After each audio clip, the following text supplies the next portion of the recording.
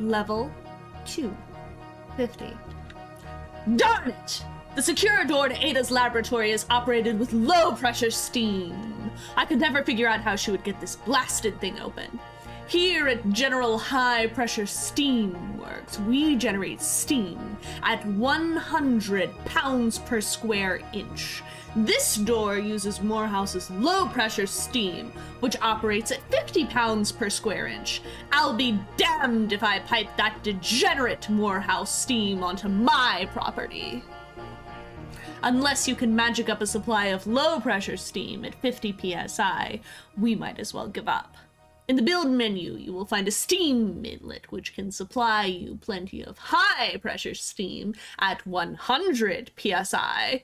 It is up there, marked with a spanner. You can also press tab twice to get access to it. Let's talk about this. So what I've done here is I've placed high pressure steam, and this is equal to 100, and I've connected it to this 50. And you'll notice there's this weird thing coming off of here, and if I remove it, you'll see that this is still 50, because 100 divided by 2 50. Makes sense, right? I'm going to show you something. So if we take a look at this test, this test is 99.99% accurate.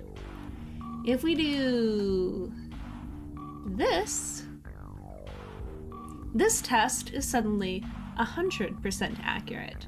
So improve the accuracy of your level 50s. See you in the next one.